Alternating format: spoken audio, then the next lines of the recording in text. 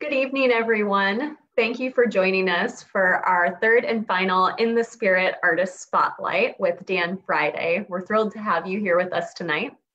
I want to start by first acknowledging that the Washington State Historical Society is located on the traditional lands of the Puyallup people who have stewarded this land throughout the generations, and we pay respect to their elders, both past and present.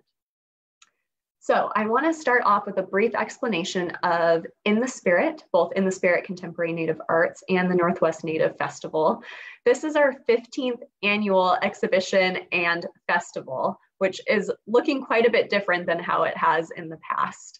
Um, this year, while we are collaborating with our same partners that we've started working with the last few years, we have brought on a much larger advisory committee who helped guide us in the process of going virtual, both with the exhibition as well as with the Native Festival. So you can see, you can visit inthespiritarts.org to see the entire virtual exhibition featuring 20 contemporary Native artists and their works.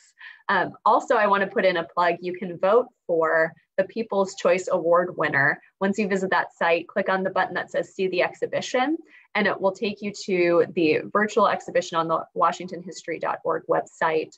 Um, and you can vote for your own favorite work there. And we award both first and second place People's Choice.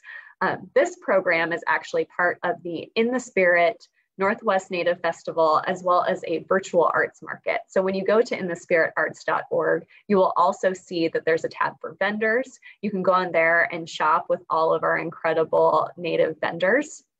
And then you are also privy to see all of these incredible events that are hosted by each of our partners.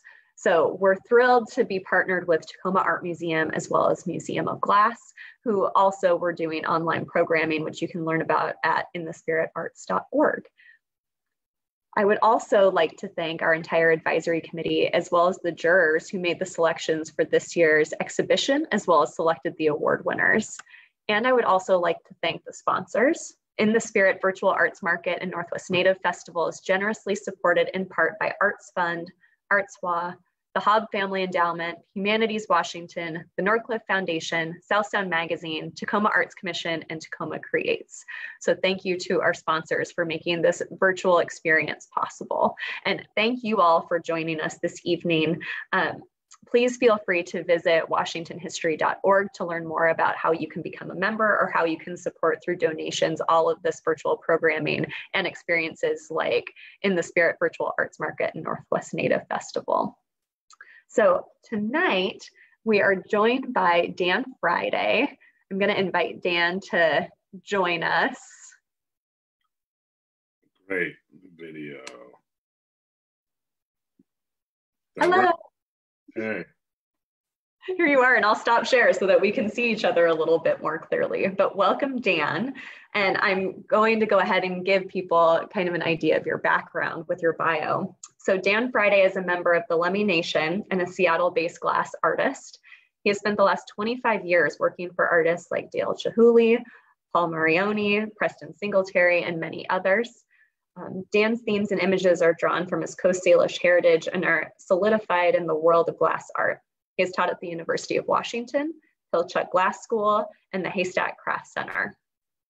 Dan has had residencies at the Museum of Glass in Tacoma, so our neighbors, the Burke Museum in Seattle, the Corning Museum in New York, the Dream Community in Taipei, Taiwan, and Dan is a recipient of the Bill Holm Grant and the Discovery Fellowship through the Southwestern Association for Indian Arts. His work can be seen in Blue Rain Gallery, which is in Santa Fe, Stonington Gallery in Seattle, Ainsley Gallery in Toronto, Habatat in West Palm, Florida, Schantz in Stockbridge, Massachusetts, and in many collections around the world, including the Washington State Historical Society's permanent collection, which we'll talk about that work soon. Dan, thank you so much for joining us this evening. Absolutely. Thanks, Molly. And as always, we have the amazing Len, our program facilitator, who is on Facebook, and she will be fielding questions. So as you have questions for Dan, um, go ahead and put them in the chat. And then as we have our conversation tonight, we'll also make sure those questions get posed to him as we talk about all of his work. So just wanted to make sure that we have our audience participation. So thank you again, Dan. Um, let's start with where where are you located right now? Uh, I'm in Shoreline, Washington, but Seattle. Yeah, more or less right there on the, the border of the two cities. And how long have you been in Shoreline? About three years. My studio was in Fremont for about 15 years, and I've uh, mostly lived in, in North Seattle area, uh, but I recently bought a house and moved out of, you know, I did the thing where you live in your studio for living the colorful artist life and shower in the sink and eat microwave food for about 10 years. I did that and uh, just recently bought a house and with my wife and children and live in Shoreline and trying, trying out some new digs. Did the microwave come too or? uh, yeah, well, you know, I Fremont is great because there's so much good food. Uh, the PCC was right across the street from my studio, and they have a great like food bar. And I, I guess not ironically, that's where I met my wife. Is at the she worked at the co-op there. So that's amazing. I had no idea. That's incredible. Yeah. So let's talk about when and how did you become an artist?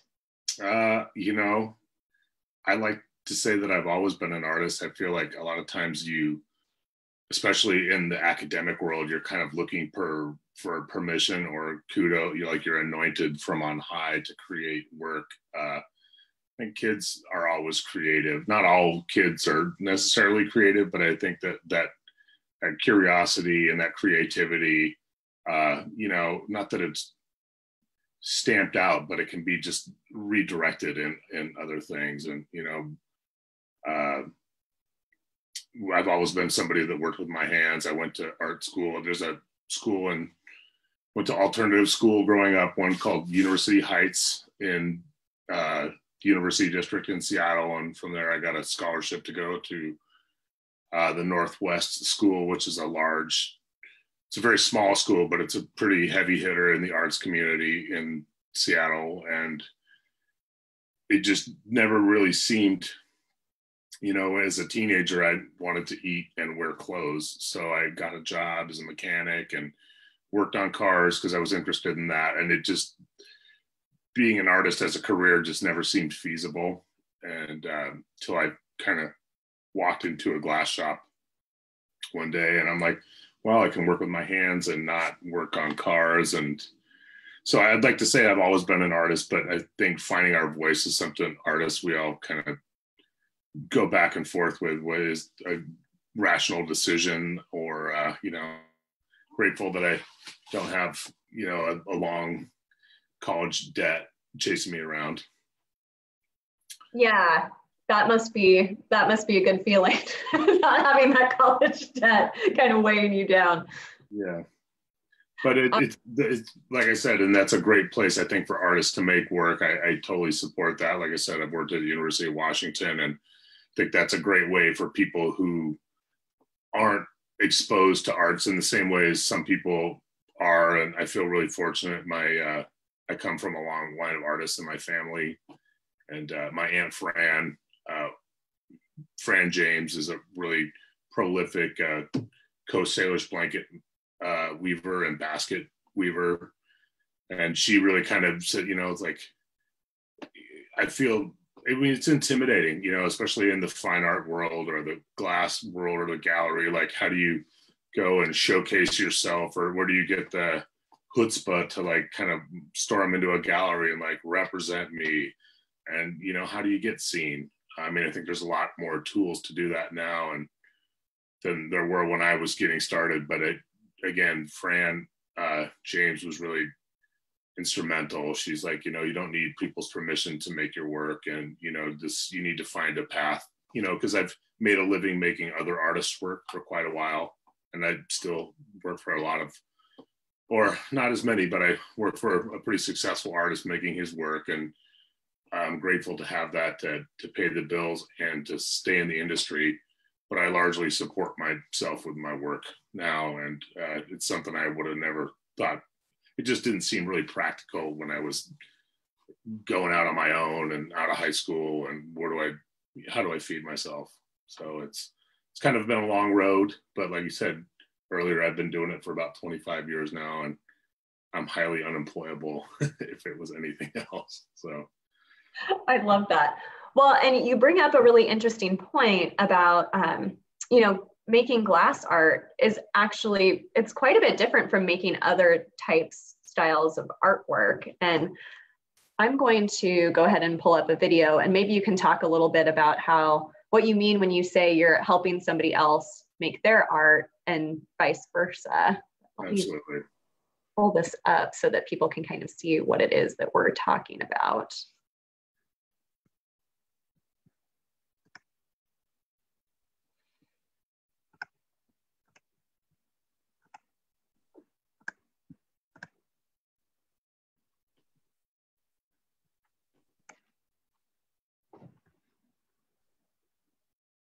So it looks like you have an entire, there you are, but then you're surrounded. I've got a team of, of uh, guys and gals helping me, definitely. Um, yeah, glass is unique. I mean, one of the things that I'd say first drew me to it is you can see the flame behind me, and it's it's so tactile, and it's you know again working with your hands, and I've always had a sketchbook and stuff, but I I think what's so dynamic about glass making is is the team work um, I wouldn't say it's a collaboration because you definitely come in with there's one person that's a designer, but I, there's no way I can make this work by myself. I need uh, a team of people to help me. Um, you can see here, this is the start of a basket. Those are all small canes, but you got Taylor heating it up. We do have somebody videoing. My good friend Greg Owen is uh, getting ready to hand me the broom and help me roll this this fused panel up. And it's just an extra set of hands. You can see manuel castro in the back is kind of getting ready for the next step. And so i'd say the best analogy for working with glass although you're not producing something physical or tangible is being in a band. Because there's you can't make the music all by yourself. I mean now you can with instruments but you know there's just all these personalities that you have to navigate and any one of us at any point can break this piece that we're working on. So we're really you put a large group i mean you put a large amount of faith in the group and uh, you really it's like a choreography and you know one of those things that you don't see when you're dancing with somebody is like well i'm also trying not to step on your toes and uh, you know there's, there's this rhythm that you know especially you develop you know, like Taylor, who you saw in the last, he's around here somewhere in this video, but he, somebody I'd worked with for about 10 years, and you develop a rapport that, I mean, you could put two virtuoso glass artists together. And if they haven't worked together, they just don't, they're not in harmony, you know? And, uh, like I said, it's, you know, we're no Beatles, but it's, it really takes, uh, takes some time to, to get dialed in to be able to, uh, create work together. So have you done a lot of these different tasks that you're kind of describing? Like have you worked as each of these other people for a different artist? Uh, yes, absolutely. And that's again why I don't um, I'd say art school is a great way to find your your vision or work on your voice and come out of this thing with a resume or a bio and I mean, I guess maybe not a bio, but to have like a mission statement more or less. But the cool thing about glass again i'll use a music analogy again is it weeds out like you can't read a book about how to play guitar you know? There's just hours you have to put in the 10,000 hours malcolm gladwell sort of thing and you just you can't you can't fake experience and so you literally need to just break a lot of glass to where you get proficient enough to do it and um yeah, you, apprenticeship. It's one of these things that really has a, you know, there's no, you can't pay your way to the front of the bus or class or whatever. You literally have to put in the hours of, you know, I've done everything as sweep floors and, you know, that's where I started.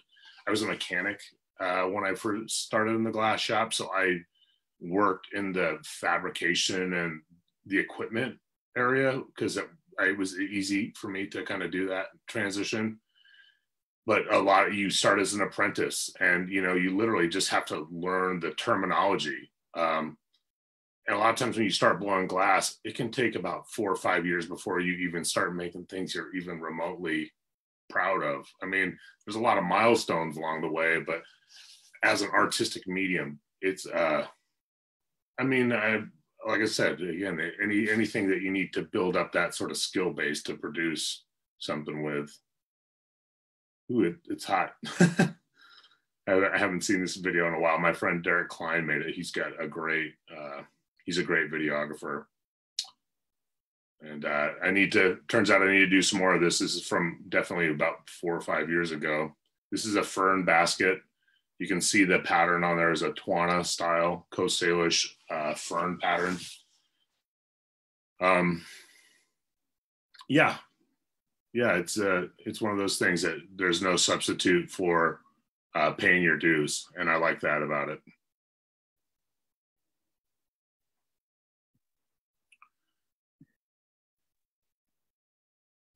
It really is such an intricate dance. I can't imagine, like you're saying, all the hours that go into understanding the whole process, kind of being allowed access to the point where you can then kind of like learn all of these things and get your hands on all of these materials. But one thing that's kind of interesting is you just said this this specifically you're creating a glass basket which that's not the materiality we're used to seeing in terms of like salish basketry so like do you do you have a big background in understanding that type of art that then allows you to translate it into this new media um it's i'm sorry my screen is doing something.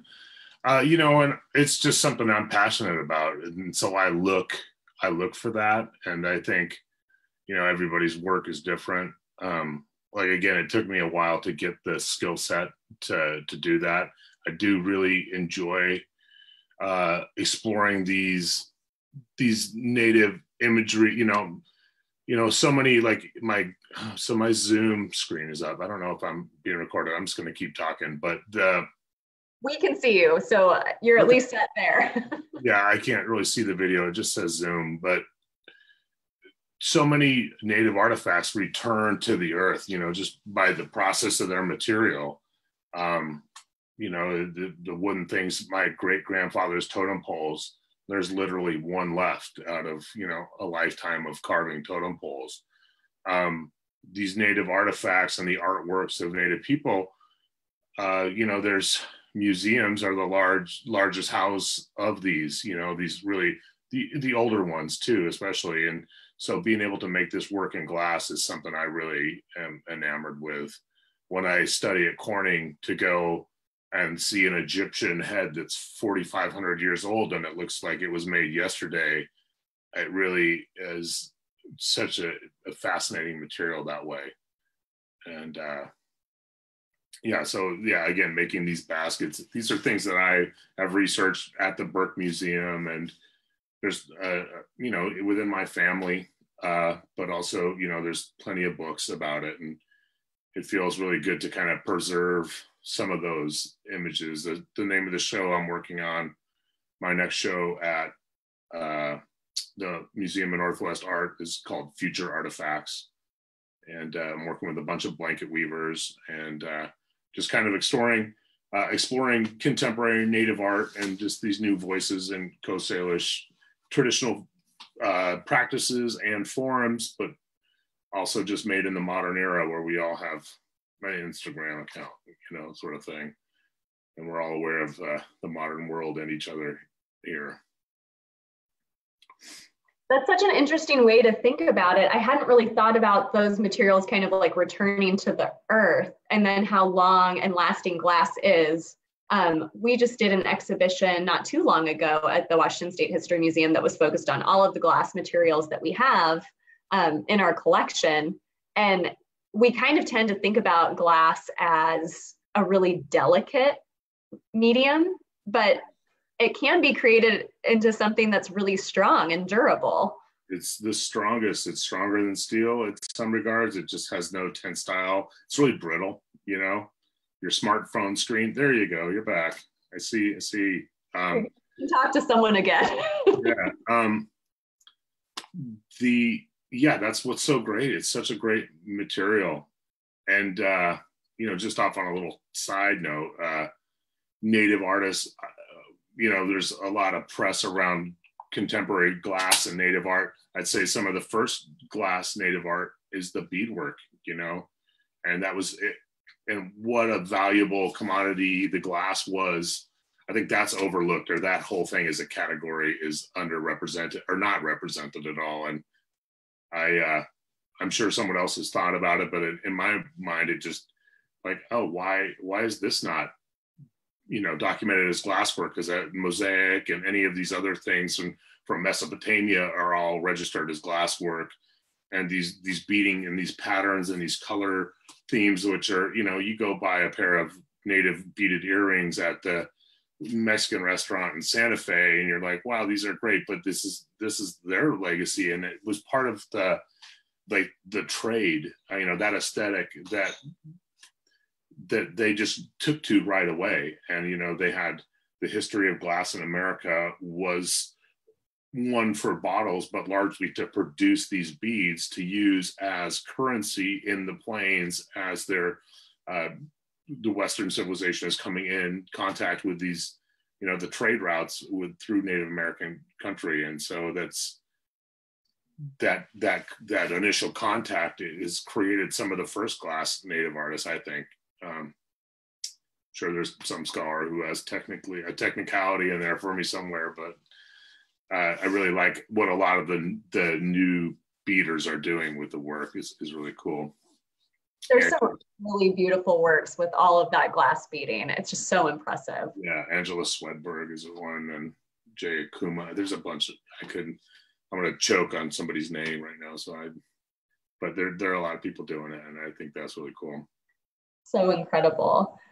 Um, so we were watching a video of you creating that basket that clearly had like a lot of different pieces that were going into it. It seemed like something that was really intricate to kind of conceptualize and then create. We had a question um, from the audience What's the most complicated piece you've designed? And is there any correlation between the technically challenging and how much you personally like or relate to a piece? Well, one of the things as a glassmaker, you never get a, you almost as a rule of thumb do not like a piece until it's like finished being cold worked or shipped. And it, it can break at so many points, you know, even if it comes out of the oven.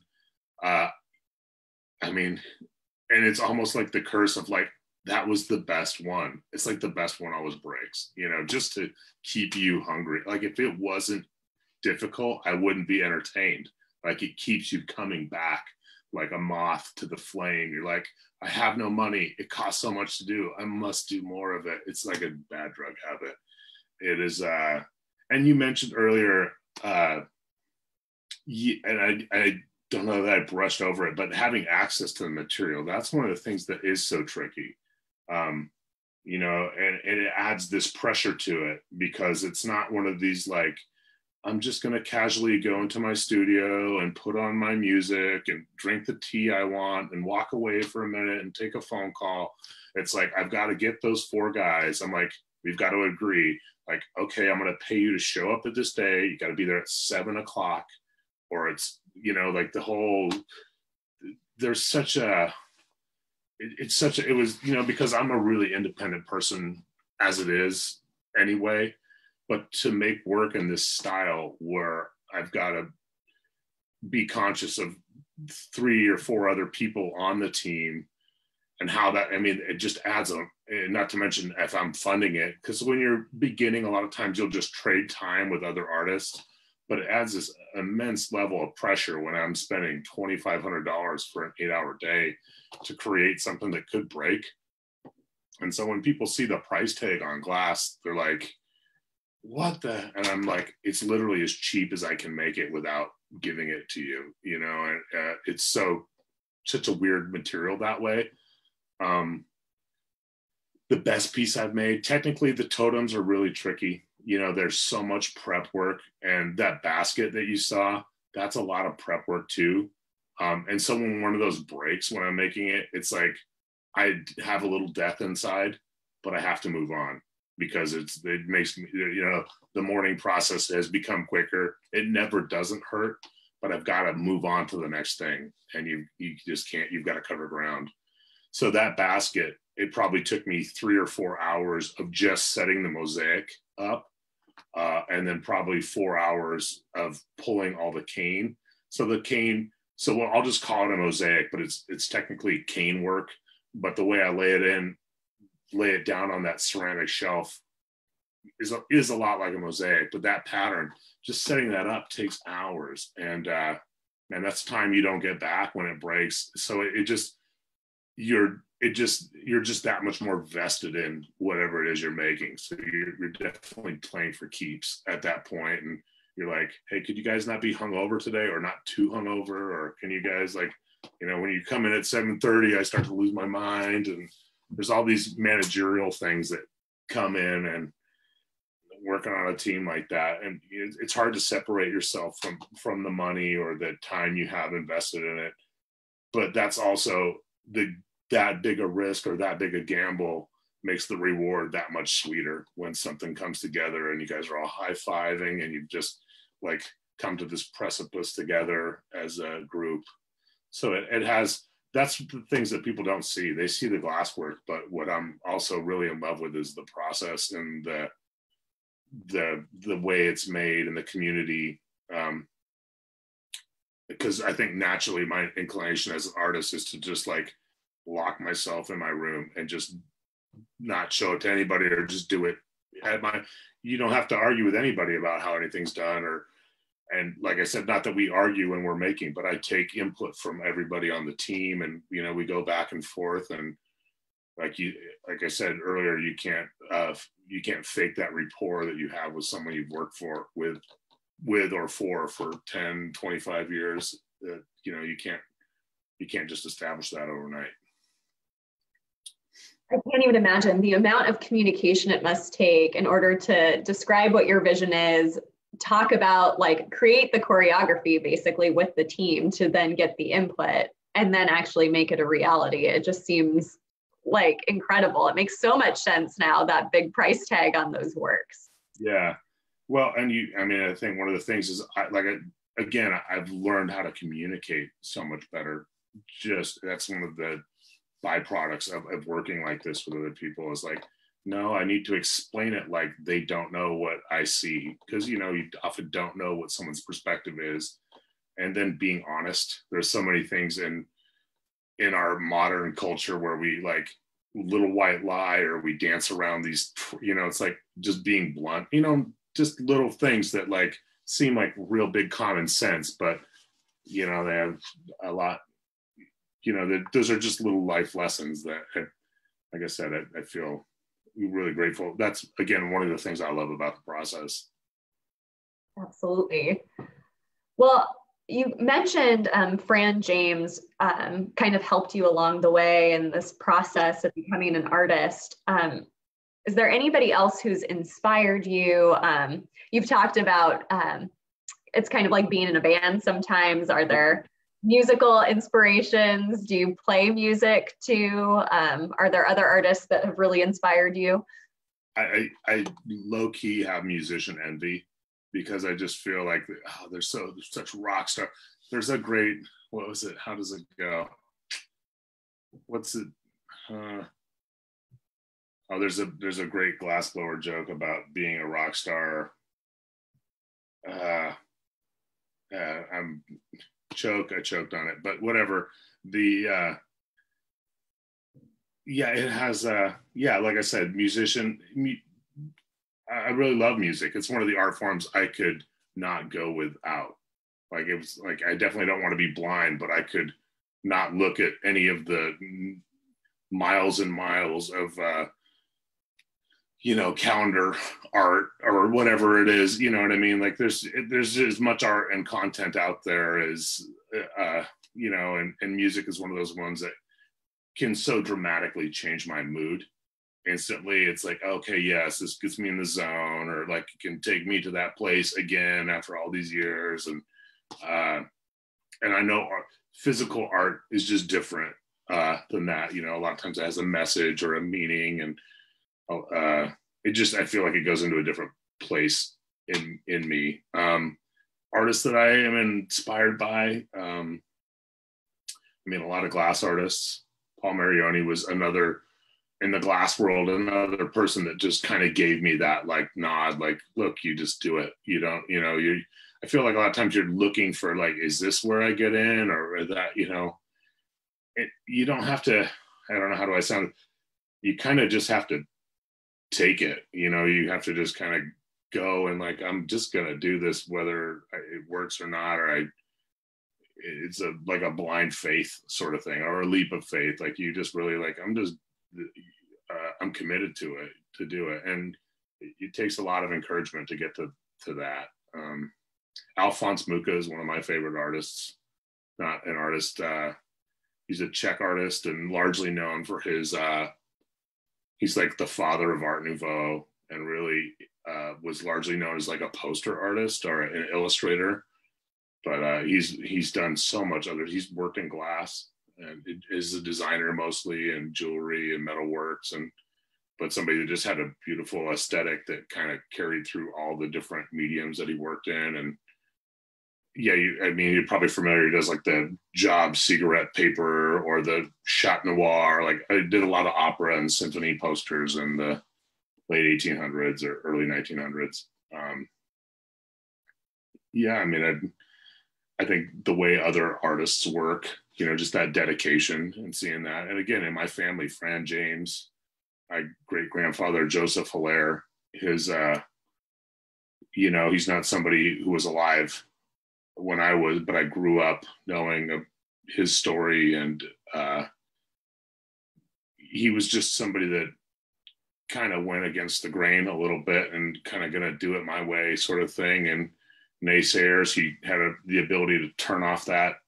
switch or, you know, this modern era of trolls and not read the comments or whatever and just kind of blaze on without, you know, feel like you need to, to do that to march to your own drum. Absolutely. I love that. We need more role models like that that can kind of demonstrate like let it roll off and like you keep doing what you need to do. I love that you have that in your family. Yeah, yeah, I feel fortunate too. I'm grateful.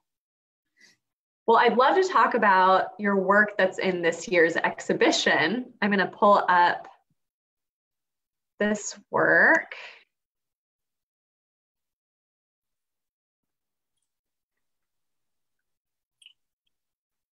So you are the Honoring Innovation Award winner this year for Forager Totem. Congratulations. Thank you. Um, and you had mentioned that the totems can be really intricate. So I'm curious, um, what was the process for creating this piece? And then also, what's the inspiration behind it?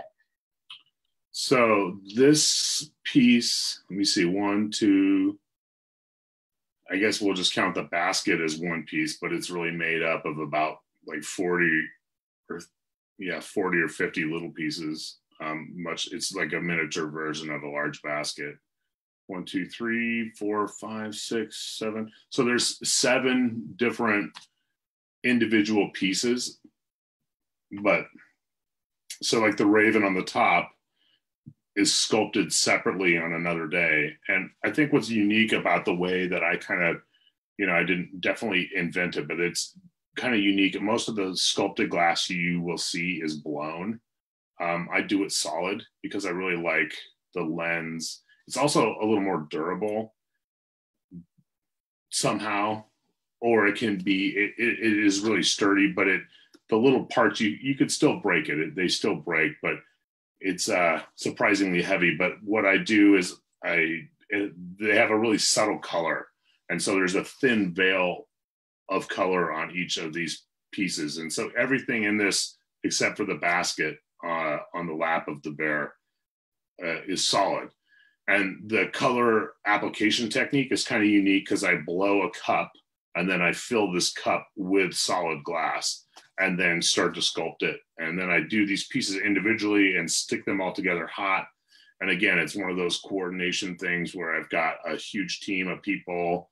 Um, I've got the works from two or three days preparing all the different color cups and the different parts and and just getting the size the proportions right that's one of the things like that i've learned um, a bear with a small head does not look good but a bear with a larger slightly larger head is uh, will pass but a bear with a shrunken head looks really silly to anybody so um, yeah this is a really nice one uh, the color that like i said i, I definitely didn't uh, come up with the process but i've really I definitely refined it for my process and I really uh, like the the subtle colors. They're kind of something you have to see in person to kind of really grasp it. And I also tell people that you cannot uh, you can't overlight glass, and that's why sunlight is is so good, you know. And I spend quite a bit of money on uh, photography. That's something that I've learned from my mentors, Dale being one of them. Is uh, you know more people will ever see a picture of your work and i guess if you're a young artist like if you're going to blow some extra money it seems like well hey i have a camera i'll just do it i'm like pay 175 bucks let someone else take a picture of it and because uh, again more people will ever see this especially in this day and age i mean that whole industry just went up right being able to photograph your work and work with a friend of mine, Ian Lewis. He does uh, some of my photography more recently, um, and he actually adds video. So I'll take a a, a, a, a still like this, you know, on a, a lit lit table or whatever the lighting is they do. But he'll also do like a turntable video, which is a great way to see these three dimensional works a little more three dimensionally. You know, uh, just gives more information uh, but yeah, what goes into making this, it, there's a lot of preparation. And then it probably takes about six hours to assemble all the parts. And that's kind of the hairy part where you could, you know, there's no going back. Um, any point along the way, you could break it. Um, I had a bunch of them break in the oven. it was a had a rough year, 2020 already. Uh, we had an oven failure sort of thing, or uncalibrated uh, oven and a bunch of them broke and that's one of those things where I just literally like show up in the morning and like, oh, I just lost thousands of dollars. Awesome. But you got to keep rolling because um, life goes on and you're, you know, that's, you're not being helpful if you're feeling sorry for yourself. Uh, this piece is about mushroom hunting. I often, uh, when I get lost out there in the woods, I follow the raven. You can see there's a raven on the top, a morel, uh, mushroom, and then there's a salmon the bear is holding. That's kind of uh, I put that in a lot of the pieces. Uh, that's a, and then there's a small what's called reticello uh, basket. It really looks like this woven pattern, but it's really a, a really it's got a long history of a Venetian technique uh, in the basket. It's something you probably can't see in this picture, but yeah, this is a really nice one, or one that I'm really happy with, I should say. So uh, yeah. Are you a big uh, mycologist? Um, do you like to go mushroom foraging? Absolutely, yes. That's the way, you know, and what better way to get out in the woods and feel like, you know, I'm definitely a urban person. I grew up in the city and spent a lot of time. And I think that that balance, though, that's where I look for that balance to be connected with uh, not just old ways, just the current situation is, you know, the the woods is it's a great way to center yourself. It's really honest. It's really, you know, there's no agenda. You're just out there as the, you know, you're out there walking in space on this thing, spinning through it. Um, so, and I really feel like I'm where I need to be when I'm out there. So, those are some of my you know, and I, I, draw a lot of my themes from nature and that sort of thing. And I feel really at home, like a lot of people, and a lot of artists. You know, I uh, and mushroom hunting is one of my favorite pastimes. What a great way to cover ground and have like an objective. It really like works to that like predator finder brain to like, oh, I found wow, I'm playing a game out here and how many did I get? And, and they're great to eat. I love eating. We have to do that every day almost, right? And so I love morels. They aren't the easiest to find, but we're coming up on, you know, big chanterelle season. So I'm yeah. I'm excited to I think it's uh, yeah, it should be here, right? Just been working so much. I, I don't have quite the as, as much free time as I used to have, but yeah, that is if I could be somewhere that's it's definitely in my future after the next this next two week run. Well, Thorine is here, so the positive thing is we get all of those incredible mushrooms. So yeah, yeah. So you had mentioned you came in and there was the oven incident where a number of the pieces were broken. Someone was curious, how often do things break? Like, what's the percentage of broken items versus like to full completion? I'm gonna knock on wood that you can't see right now, but I'm pretty good. So not that often. So it was a surprise, but I've been doing this for 25 years. I know when things are gonna break, but things break in shipping, things break uh, in the cold shop. Let me see this year. So if those three totems broke, and then two bears, I've lost five pieces already this year and that's quite a bit of money. I mean, I won't go into how much money that is that I, and it's not even the money that it was going to potentially be. It's the money that I've already spent doing it. And like, I almost am blissfully ignorant. I just kind of like, I can't hear you. It's over there, blah, blah, blah. I don't even want to know how much I just lost. Uh, and that, so I guess that's pretty bad, but I'd say for five, and I've probably made 50 or 60 pieces this year. So, you know, it's, it's, you know, I have two shows up right now. So I've just created a bunch of work and they don't, it doesn't always go smoothly. I,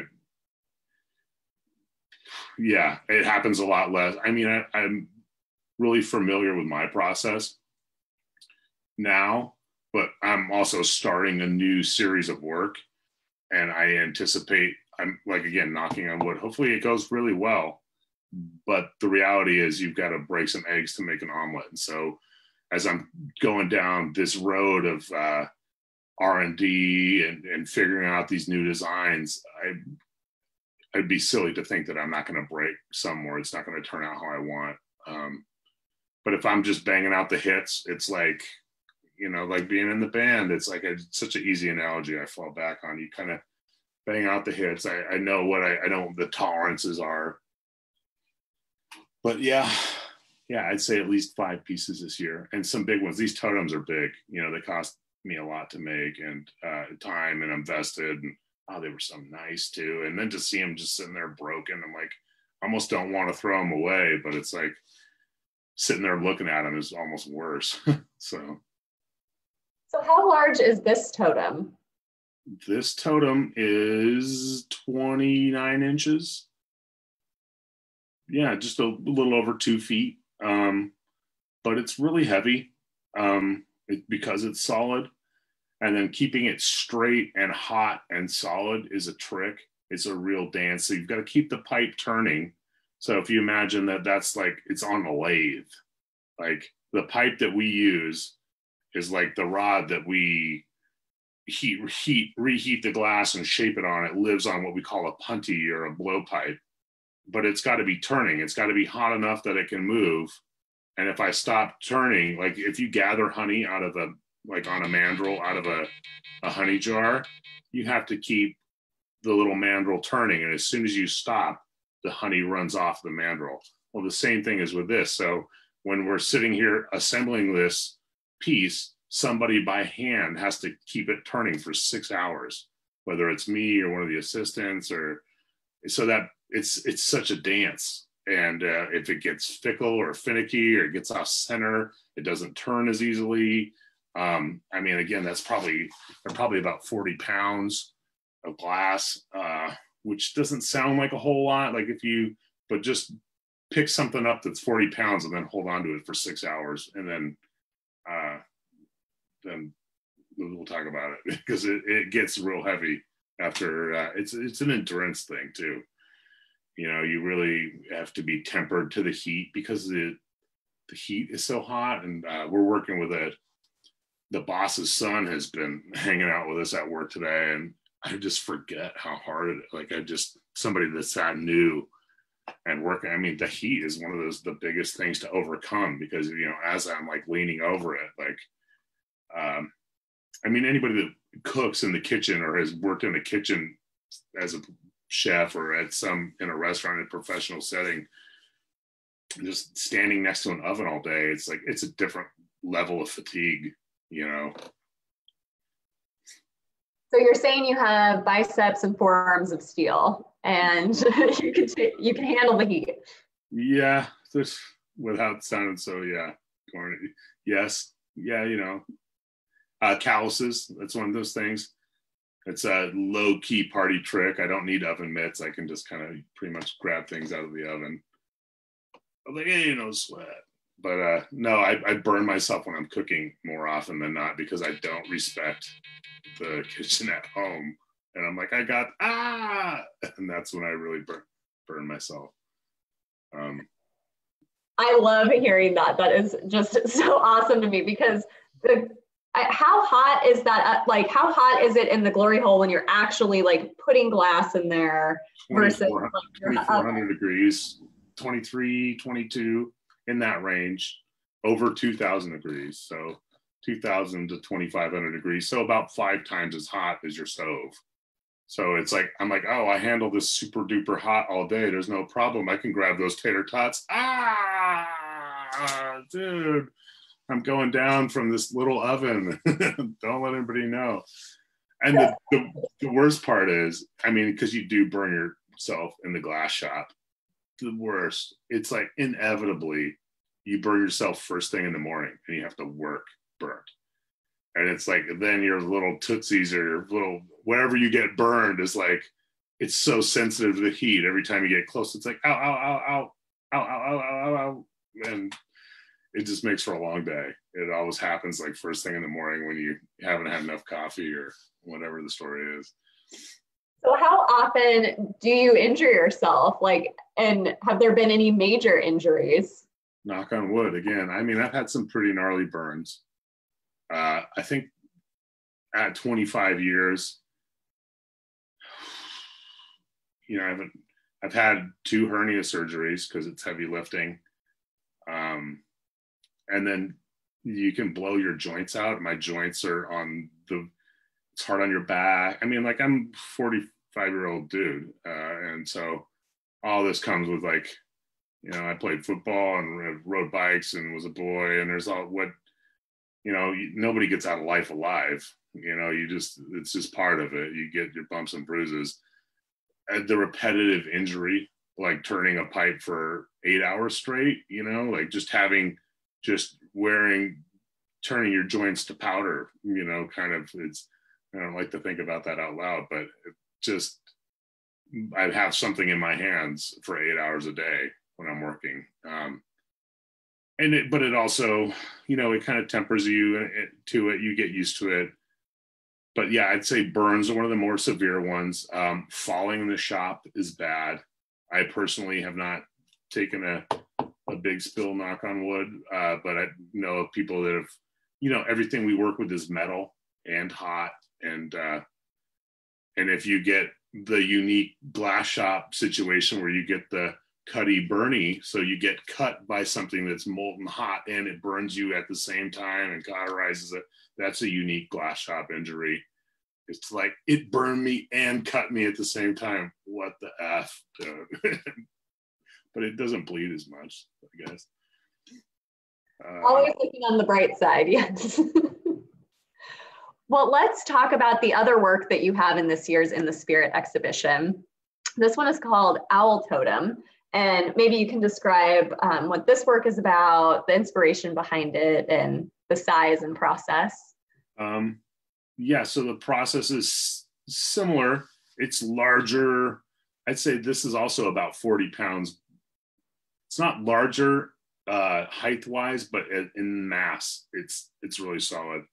Again, I this is kind of a wouldn't say signature, but these the technique of how I color glass is different than most sculpted glass. And so I really kind of work on getting that rainbow pattern. And it's one of those things where the way I mix the colors in the base, uh, I don't always have control. I mean, there's some alchemy to it. I mean, it literally is the metal oxides in the color that allow glass to have color. And it's just like low key chemistry. Sometimes it doesn't work the way I want. And sometimes it does. Like this one, I'm really pretty happy with the color. And that's the kind of the, the line I walk. Like a, a lot of times I don't know until the piece comes out of the oven the next day. It's like, did it do the thing it was going to do? Or it's like, did my bread rise or did it, you know, did it, did it work? Um, I mean, I have an idea, but it's not, it's not written in stone. Um, yeah, owl totems. Owl. That's one of the first things I made. Um, you know, after talking with my aunt Fran and uh, just kind of getting that, uh, just having that determination to really focus on my own work. And I mean, I'd say that 20, that was probably 12, 12 years ago um, you know, after I'd been blowing glass for about 12 years. So it wasn't like I didn't, and I had made other stuff, but really just kind of taking my career seriously. I mean, it, it happened also when I got sober. I've been sober for 11 plus years. And that whole timing, I mean, it's no coincidence that those two things overlap. Um, taking yourself seriously, uh, focusing, and kind of who am I, what am I doing, sort of thing. But the owl, uh, I had been making owls this whole week. So I probably made seven or eight owls, and I had an owl come stay in my cabin with me, and uh, it had been hit by a car, and uh, was it wasn't dead, it was knocked out, and the wildlife rescue was closed on the weekend. I couldn't get a hold of them, and so it ended up staying with me and uh, then one day it flew up to the window, and I'm like, well, if you can fly, it's time to go. And I can't always read the writing on the wall, but I am like, well, I think that's a sign to keep making owls. And so these are some of the first pieces that I I started making. That is such an amazing story. yeah, I guess afterwards I found out it was a it's a barred owl, and uh, when I spoke to the wildlife owl expert. She's like, yeah, you're lucky it didn't claw your face off while you were sleeping This was literally a one room cabin. And it, I made a little nest for it. And she's like, yeah, they're super vicious. I guess they're the ones that attack joggers quite a bit, the, uh, the barred owls. But, uh, yeah, I think maybe it took pity on me because I helped it, helped it out a little bit, but it was, uh, yeah, it was one of those things. Like I said, I, gave me that that feeling and so i've they've kind of evolved a bit, but this one I made earlier this year, and is one one. This is the culmination of. There's lots of bad colored ones out there for me to get to this one that I really like. I love this, and it's it's too bad that we can't see these in person right now. That we did have to go virtual for the exhibition because, like you said, it's just so unique to get to see see these works in person. I'm sure, having seen your works from last year's exhibition and getting that 360 view and the lighting. So hopefully we can see these in person eventually. Yeah, well, I hope so too. Well, and speaking of that, Full Circle Totem was in the in the Spirit Contemporary Native Arts exhibition last year in 2019, and it did win the People's Choice Award first place. Um, and I remember receiving your application and getting to see the image of it. It's a totally different experience to see it in person. I mean, seeing it that size and seeing it completed, just the intricacy is amazing. And so, yeah, that one is about four feet tall. And uh, I'm sure from the picture, like, that could be nine inches, right? You almost have no point of reference until you see. And a lot of glasses made on that scale. That's a, a pretty big one. I've scaled them down a little bit.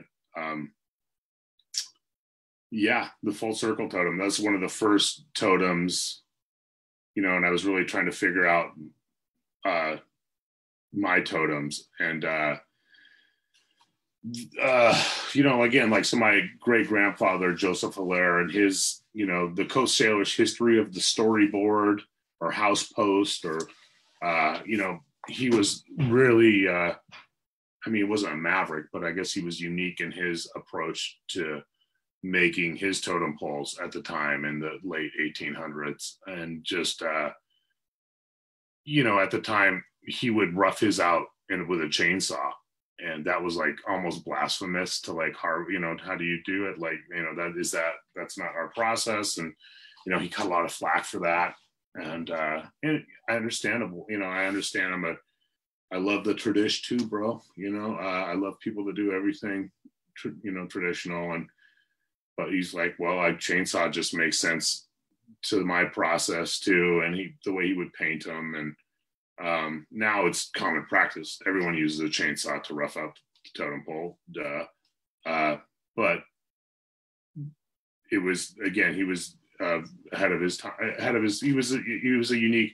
He marched to his own drum. Uh, he actually, um, he's he's buried at Suquamish, but he lived the last half of his life in Quinault. Um, and again, he was you know, the poles, there's a great book that my Aunt Pauline Hillaire helped write uh, called The History of a Coast Salish Totem Carver, uh, Joseph Hillaire. And it, I was, it, I'm grateful to have that, to be able to read that, you know, to, to help carry on that. And I was trying to find my own way. And, you know, I'm using this material that, again, this piece is fragile to a degree, but even in pieces, it will still be here millennia and I I always like that uh, that that idea that that brings me joy. Um, you know, like and be pre-contact, we talked about the glass beads of uh, beaters earlier. I mean, it wasn't until there were metal blades, you know, people were carving these things with a jadeite and shell and uh, beaver teeth, and uh, you know, the totem poles that they saw in the 1600s didn't look anything, you know, 14 you know like what are the first pre-contact ones look like they they evolved with the advent of, of metal blades um, so it just is a natural you know progression. And again native people are so so so resourceful. You know the jingle dress being made with like tobacco lids or whatever whatever materials are available are are fair game for artwork. And so i um that's the way i lean anyway. And i um, yeah, I, I enjoy making these out of glass. Well, and before we move on to this other piece, I wonder, I would like to share this video that just kind of gives a sense of um, how you create the, the totem specifically. So let me pull up that video. And it's just a really quick video to give people a sense of how you go about that process. I know I sent you this video, but I'm trying to remember which one of it is in my head. I'm like, uh, yeah, okay, this one. Yeah, reticello basket. Yeah, in fact, making the totem that you have the image of. So I've got Kevlar gloves on. And again, you can't see all the people there, but there's quite a bit of people on these teams.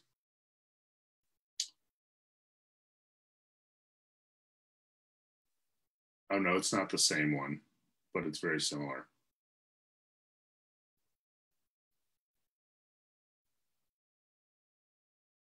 Yeah, Taylor, and we're getting ready, kind of sculpting the Raven. And they're all assembled really hot. All these pieces are made not all of them, but most of them are made ahead of time and assembled at the end there. So we've got one, two, three. Doug Burgess. Uh, I don't know if any of the people watching. Uh, Nancy Burgess is a really famous Haida basket weaver. Her son is, I wouldn't say an apprentice of mine, but he's a guy that one of the young bucks on the team, and that was made at the Museum of Glass there. And uh, I, again, I owe them a big gratitude of a debt of gratitude is they've helped me out in my career quite a bit. I began again because glass is one of those things that has a high cost of entry and is really tricky to get access to. And it, if it wasn't for places like the Museum of Glass uh, for access to the material, or the Burke Museum for access to content, and uh, you know the museums, I, am grateful. There's many things that I, I, uh, you know, and I understand you know, I know it's a hot topic these days, the repatriation of things. And I think there's definitely a place for that where it is needed. But I'm also very grateful that places like the Burke Museum house things that would otherwise have not been cared for in a way. Um, and if they're in somebody in the family's closet that's fighting with the other half of the family and no one has access to it and it's getting destroyed, um, which a lot of things are. Um, at the Burke Museum, they had this great uh, toolbox of my great great grandfather, Haytalak Osium, uh, had to see his personal effects with his handwritten, with his name written in his hand. And, uh, you know, yeah, it's, it's, it was just really special. And so again, all all the museums that have been involved, like and your guys included, have, I'm just really grateful that they give you guys give people a platform. There's you know, a, my work w- wouldn't be where it is today without uh, help from a lot of the museums. And I think finally museums are at the point where they're figuring out how to serve all of these different audiences too. So yeah. hopefully going beyond that, obviously repatriation is very important and like making sure that all of these items are cared for respectfully or in the appropriate hands. But places like the Burke have gone out of their way to create opportunities, have mentorship opportunities, learn from collections, and that's a great thing well and when things are collected responsibly or you know they just you know a lot of times they're betrothed to the museum or you know kind of that sort of thing. And who knows about the questionable means of some things and some things are i mean we all it, it just serves the greater public. I think that we all need that. There's you know again as the tribal members i have to that open door and relationship with the museums that i am really grateful for and I know we're we're in a learning process. We're in a constant learning process as a museum. So um, I had mentioned at the beginning of the program, we're so grateful for the advisory committee for In the Spirit and the jurors that we get to work with because things like the purchase prize award, you know, we're we're considering like what is going to be going in our permanent collection and um, how are we going to be good stewards which actually brings me that was a nice little segue into the final oh, piece of yours that we were going to talk about, which is Cedar Star Basket, um, which was the 2019 In the Spirit Purchase Prize Award winner, meaning we purchased that work to go into our permanent collection. So that is now with the Washington State Historical Society. For which I'm very grateful. Thank you. We are as well. Um, it was we love having this work in our collection. Uh, so maybe you can talk a little bit about um, creating this work and the inspiration behind it and the themes in this work. Um, so yeah, that that design in the Coast Salish basket is is known as the star, but it's also known as a housefly too. Don't ask me why, but uh, a housefly pattern. Um, this basket is made you different than how I've made a bunch of the other baskets. I wish, I think this is a shot you guys must have taken like for uh, catalog purposes. I have another shot of it, but it's great to see it from the inside because it has, uh, or you know, if you look at it from the top down and just see like one pane of the glass, uh, it has it, it uses a, a Venetian cane technique and it really gives it that uh, woven look, and uh, I'm really happy with this this piece. Um, so I'm glad that it, it went to a, a, place where again it, it, will be hopefully taken care of for prosperity. Um, again, glass, you know, it, it could could break, and it, but will never not be a piece of glass that looks like that. Um, like when I was studying in the Field Museum, they had so many uh, artifacts that were just unaccessible to anybody, even really, as because of the way they were treated uh, with asbestos, uh, that you couldn't couldn't go see them. And I just like to add this to the long line of, of baskets that uh, you know there's such a great history of, of Northwest native baskets, and I just I'm grateful that it can be viewed I love also that you're mentioning the technique, the specific Venetian technique that gives it the woven look, which is such an interesting idea to take something that was developed, you know, halfway across the world in Italy and then be able to apply it here to replicate something that is a traditional you know, traditional weaving, how you would normally see a basket, but applying techniques from far away. Well, if you want me to dork out on glass, I don't know how long this thing runs, but I, uh, you know, what's so cool about glass, there, there's such a, you know, it's dynamic, it's in the moment, it's this process of molten fire and teamwork, but it has an incredible history and well documented. Um, again, it, it leaves this evidence. There's this end result, which is here. Uh, I mean, I'm not going to say just indefinitely, but it, it definitely leaves its mark. It, well, it can be broken. It's there's such a great record of it, and we owe a lot of what we do in the Northwest and the American uh, studio art glass movement to uh, Venice and their innovations for centuries in Venice and then on Murano. Um, it's just got such a cool history. Um, you know, if you escaped from from Venice in the in the 1600s and made it to Europe, you were like instantly knighted.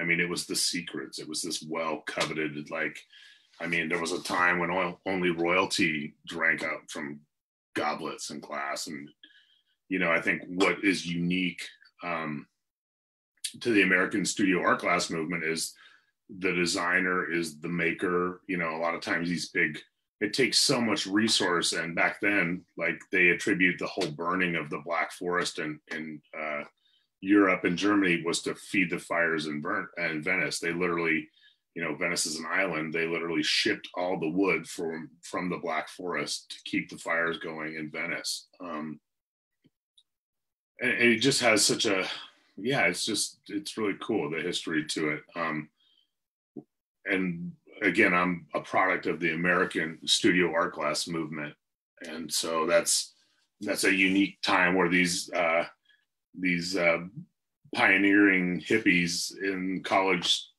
along with some really scholastic uh, scientific types, uh, um, Harvey Littleton, uh,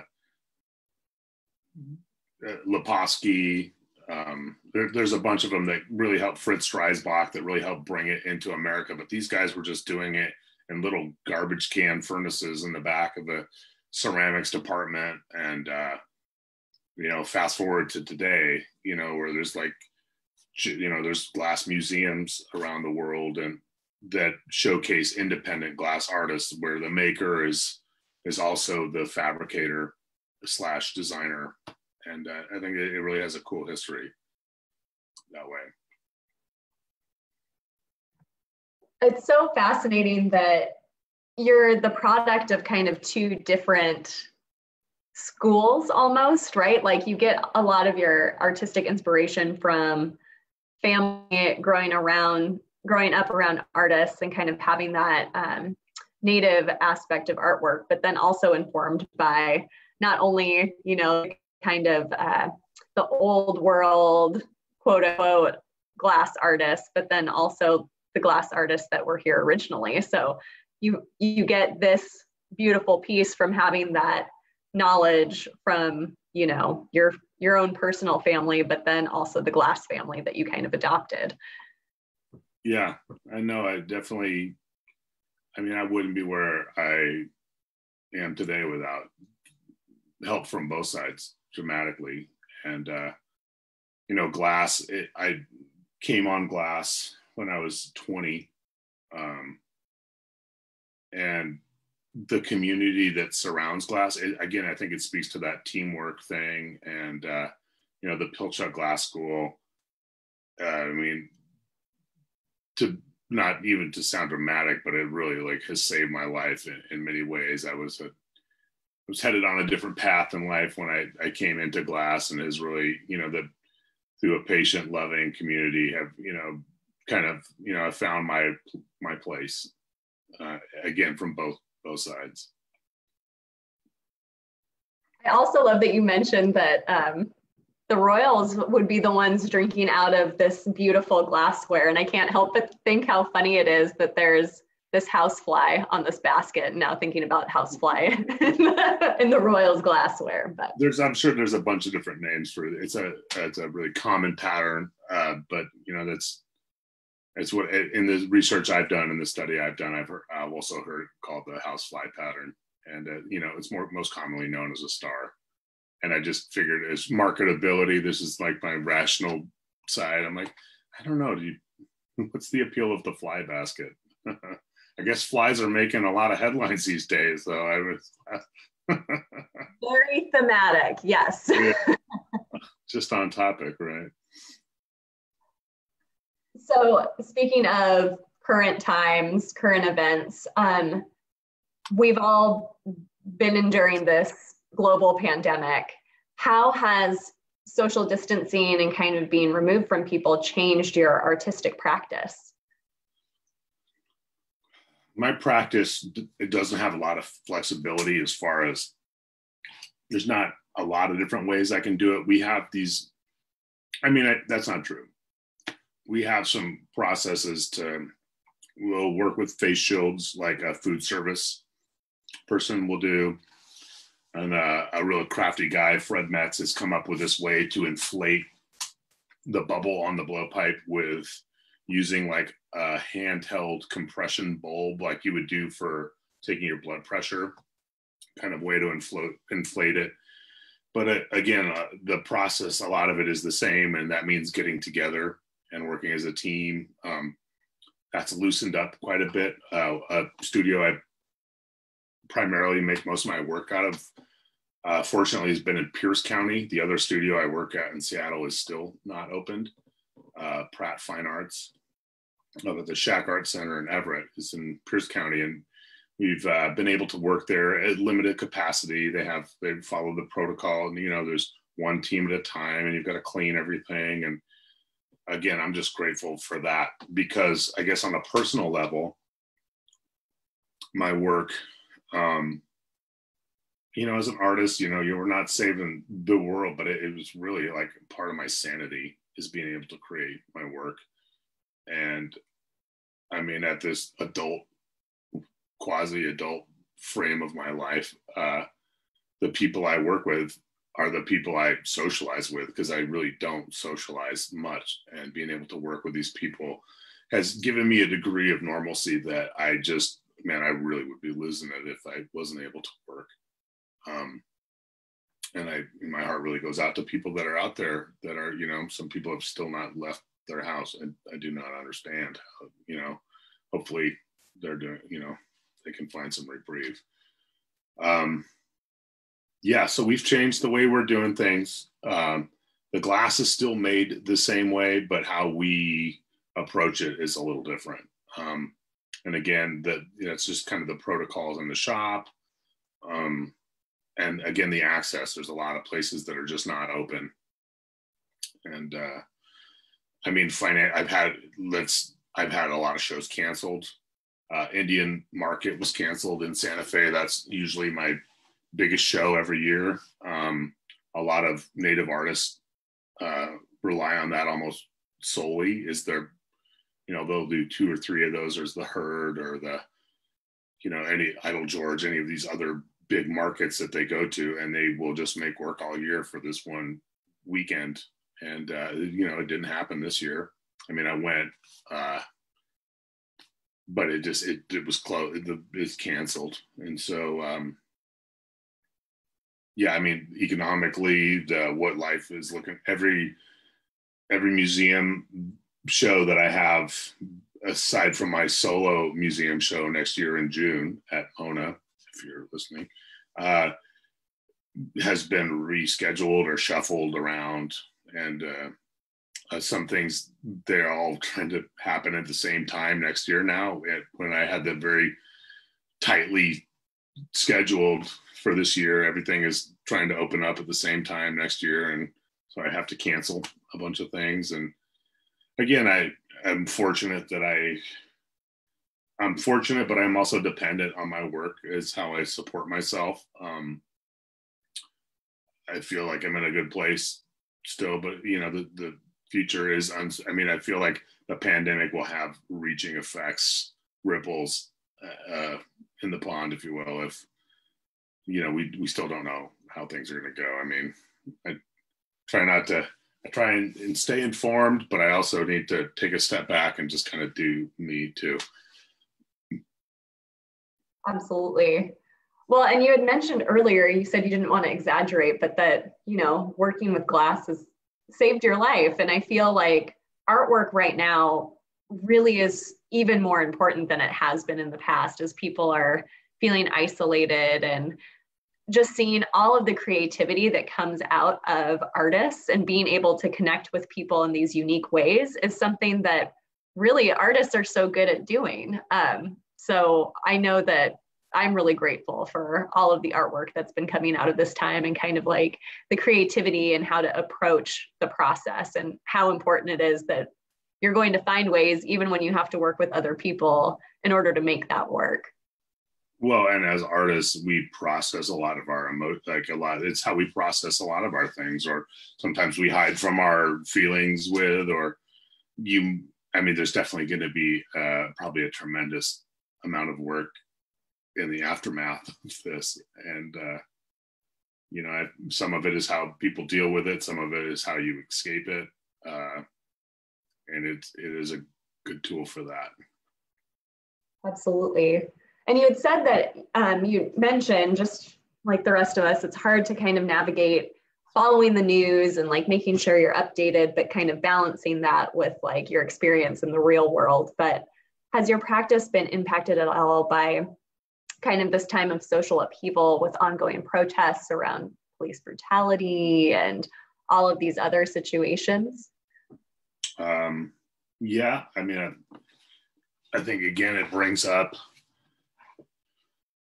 well, like uh, a lot of the galleries, you know, they have these storefronts and like, and so I've made my career largely as a gallery artist. And that's where they take a typically a 50% commission and that 50% commission on their end is they pay a really premium uh, rental or real estate space to be located in these really central urban uh, kind of right in the middle of where these protests are. And uh, you know that and again what the protests i think are talking about you know is is just this this I mean, the injustice of things or these uneven unevenness of things, and it's. I think there's. I mean, just bringing to light some of what we've all. I mean, my dad personally, my uncle, just the stories that they've had of being, you know, being assaulted by the police is just kind of a normal situation for a native man, you know, and it just falls on deaf ears and it's not like this just started happening. I think in, if anything the police departments now are as uh, integrated racially as any they've ever been. And so you might not see that like but this is the culmination of just i mean how however long on this continent you know and not to mention everywhere i mean just throughout time uh, every man, woman, and child has a video camera in their pocket.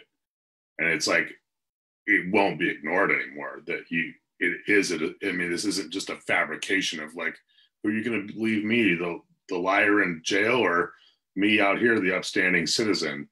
Um, I don't fall into the camp that all police are bad. I have good police in my family, tribal police. Um, feel like a lot of people get into that for the right reasons. Um, I don't feel like we should be killing each other at war. I feel like Yemen or any of these other places are much. I feel like we're lucky to be here in the streets of America, but there's definitely blood on the streets. On uh, and it's you've got to know your history. You know, I mean, and sometimes being honest with yourself is is the hardest thing. And you know, you you definitely uncover a lot of truths. Think that we're kind of living. I mean, we're going to be writing about 2020 I mean, it's like going to be your grandkids. So what was that like? You know, and like, well, you know, it was crazy and we did what we could and we tried to love each other and be compassionate and hopefully we're all on the right side of history, um, you know, and uh, try and uh, understand, you know, I mean, just try and empathize with other people because, you know, it's sometimes there's no amount of platitudes that you know sometimes the the words that come out of my mouth there's nothing that can fix some of the things you know it's like intent where do we go for that's what i like i like i like proactive like what are we going to do okay i we we know you know like what are we going to do to make sure that this doesn't happen you know how can we like construct like how can we be constructive about it you know like reliving ripping the wounds off I, I mean i don't know like i said this is you know largely why I put my phone down because I just, you know, I really only have so much bandwidth for, for this, to be honest with you. And uh, I know that it's out there. So it has affected, uh, for me as an artist, I'm living in this, the fact that the galleries are struggling, that's not, you know, that's what needs to, I mean, there's a lot of pain and suffering that has kind of come to the surface that I think we all, uh, are are dealing with and, and need to address. It's kind of forcing a little bit of a reckoning or reimagining or rethinking. And um, it'll be interesting to see you know are artists going to be engaging with galleries in the same way? Um, how drastically is art making going to change you know between pandemics and social unrest? And so six months in i feel like we're still kind of staying tuned to see what's going to happen next. We've learned not to say like, how much worse can this get? But what well, else are we learning? It's a lot at once. We're we're talking about a lot of things at once, and it's it's hard for any one person to take in. I mean, when I saw when we this question came across the the thing, I mean, I'm like, I don't write out answers. I just shoot from the hip because that's how I feel the most honest and genuine and uh, kind of am in the moment. And there's sometimes there's some ands and ums in the mix, but it,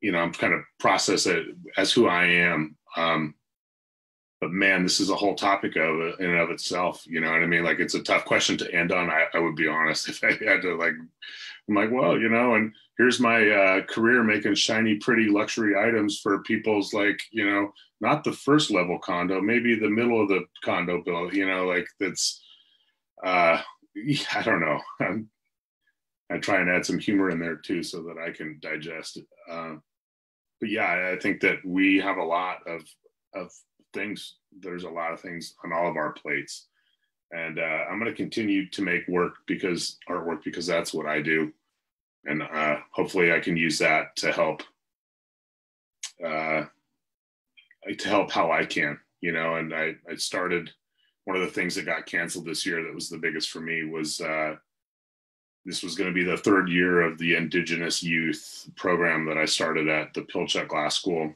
where uh, we work with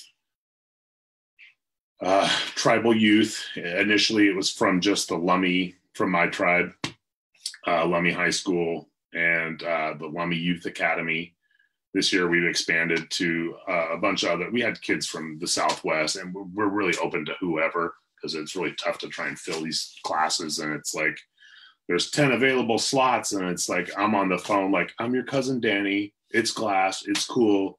Come with me to the woods for a weekend and you know you'd think it'd be an easy sell but it's but we were just kind of getting some steam and and to see that have the brakes kind of put on that really that that was one of the other big bummers um because that's that's how i feel like i'm giving back is like i don't know if my where's my energy best served? And it's helping these kids um you know poverty and injustice is is big you know and it's not just our community. I mean it's across the board you know we all we're all suffering and we're all trying to take care of ours.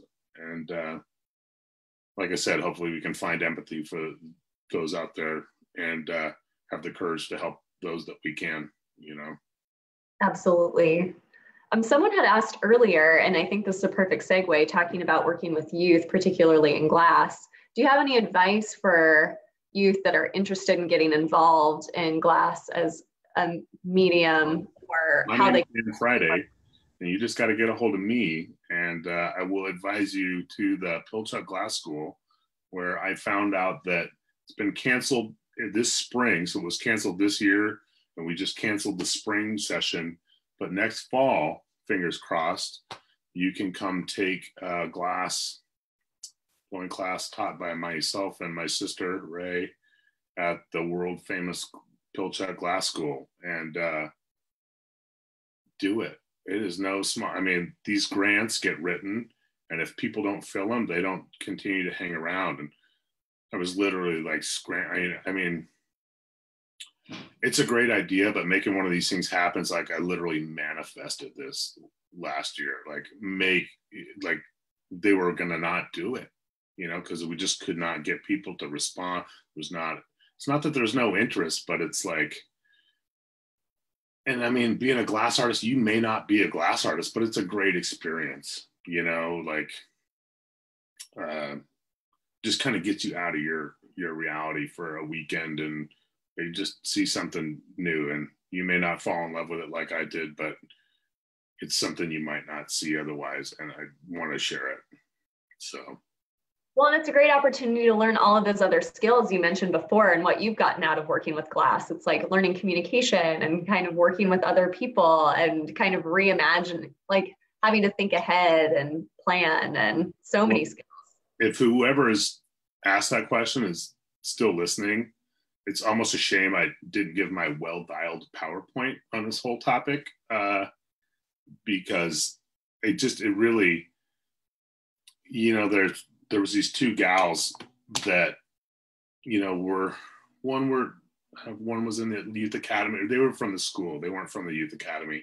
And the youth academy is a lot of times like uh, parentless children or you know younger youth and, and the high school are just high school students but it, it's really a, it's a different blend. Um, these what an incredible experience too. Yeah, these these two gals in the class are from the same reservation, had gone to the same school, and had never spoken to each other because you're from that fucking family, and we don't talk to those guys, and we don't talk to you guys.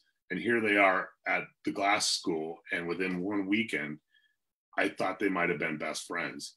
And it has glass has this ability to like it keeps you in the moment because one, you may get burned, you uh it's hot, it's uh you need someone's help. You uh and I mean, I'm not gonna it's not a miracle drug. I'm not saying that this is the prescription for every uh, you know, at troubled youth to to do, but that was when I saw that, I was just like, man, this is a powerful thing that I would like to foster. Absolutely. Absolutely. What an incredible experience. I everyone needs to go check out the Pilchuck Glass School, the youth program, sign up, share the word. Yeah, thank you. And speaking of that, um, maybe you can tell us a little bit more about um, where we can find your work, purchase your work, follow you, follow the Pilchuck Glass School? Where can we find you? Well, the all seeing oracle, known as the internet, will uh, point you. All you have to do is spell my very simple name, D A N, Friday like the day, and the internet will just rat me out and tell you right where I'm at. Um, uh, because uh, that's what it does. Um, Dan Friday Instagram is a great way. I feel like the website is the official thing and you can get my backstory and kind of learn a little bit more about me as an artist my day to day and my upcoming shows are always on instagram i also do facebook but instagram is just so streamlined that it, it makes so much sense uh, also the pilchuck glass school you can follow either with a website or a instagram. Um, fridayglass.com is the name of my website. And that has you know more detailed information about me in print. But my instagram story pretty much tells it all too well i know i'll be following along. I love getting those types of things showing up in instagram. It's kind of like the one happy place left on my phone you know that you can pick up and just kind of like look at all the beautiful things that are going on in the world well, Dan, thank you so much for joining us this evening. This has been such a great conversation. I have to say, I know very little about glass, but getting to talk a little bit more about the process and seeing how you're able to create all of these incredible objects has been amazing. So, thank you so much. Uh, thank you, Molly. I really appreciate it. well, congratulations, especially on the Honoring Innovation Award. I know that we were so thrilled to to decide that that was the work this year, and we're thrilled to have your work in our permanent collections as well. So, congratulations. Yeah, well, thank you, and thank everybody for me, please, at the Washington History Museum. Big shout out. We'll keep making the beautiful work, and we will be following. Okay. See ya. So again, just a reminder to everybody out there, make sure you see the virtual exhibition. You can find it by going to inthespiritarts.org. There's a little button right in the top right-hand side where you can click that says see the exhibition and make sure you go on there and vote for your People's Choice Award. Um, that will be announced next week, October 17th on Saturday. Um, but also go and see all of the incredible vendors that we have for the virtual arts market, our very first one, also at inthespiritarts.org. And you can also see all of the other programming that we've been doing over the last month um, as part of our virtual Northwest Native Festival. And I'd also like to again thank our partners, um, Tacoma Art Museum and Museum of Glass, for working with us to make this possible, as well as our entire advisory committee and our jurors for making their selections for this year's exhibition and all of the award winners. And again, I'd like to thank all of our sponsors. In the Spirit Virtual Arts Market and Northwest Native Festival is generously supported in parts by Arts Fund, ArtsWA, the Hub Family Endowment, Humanities Washington, the Norcliffe Foundation, South Sound Magazine, Tacoma Arts Commission, and Tacoma Creates. And of course, I would definitely like to invite all of you. Again, next Saturday, October 17th, is going to be our closing ceremony, which is also virtual. But um, we will be hosting a live performance with Khu.éex'. So Dan had mentioned um, Preston Singletary, another glass artist who is actually the bassist and one of the co-founders of that band, will be performing at Museum of Glass, live stream to you. Um, and we'll also be joined um, by Michael Finley, who is the tribal liaison for the Washington State Historical Society, who will be sharing a little bit about the history of In the Spirit, both the exhibition and the festival. And we'll also be announcing our award winners for People's Choice. So be sure to join us again next Saturday. Um, and you can learn more about all of that at inthespiritarts.org or follow the event on Facebook just to make sure that you're getting all of the updates. Uh, also, we'd encourage you to visit our website, washingtonhistory.org, and also consider becoming a member, making a donation, so that we can continue making all of these programs possible. Um, again, thank you for joining us, and be sure that you online and vote for People's Choice. Thank you for joining us. Goodbye, everyone.